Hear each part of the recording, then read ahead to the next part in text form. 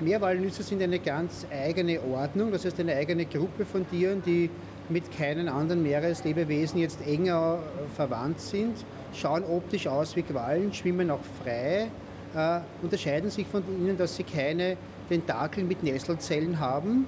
Bei manchen haben nur die Larvententakeln, bei manchen äh, haben auch die erwachsenen Tiere so Tentakeln. Aber das Besondere ist dieser Wimpernkranz, mit dem sie sich fortbewegen. Das geht im, im Körper paarreihig runter, so kleine Wimpern, die sich bewegen und die im Dunkeln auch leuchten. Man nennt das Biolumineszenz, das ist ein Leuchten, das durch Bakterien verursacht wird. Äh, warum das ist, kann man nicht sagen. Manche locken damit Nahrungstiere an, äh, andere schrecken damit auch Feinde ab. Also das ist weniger erforscht, aber man weiß, sie können es und das schaut wunderbar aus.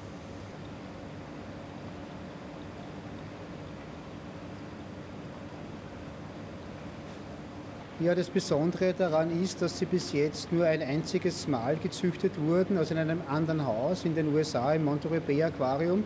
Die sind Spezialisten, die wissen, wie man diese Meerwalnüsse, die zu den Rippenquallen gehören, äh, vermehrt.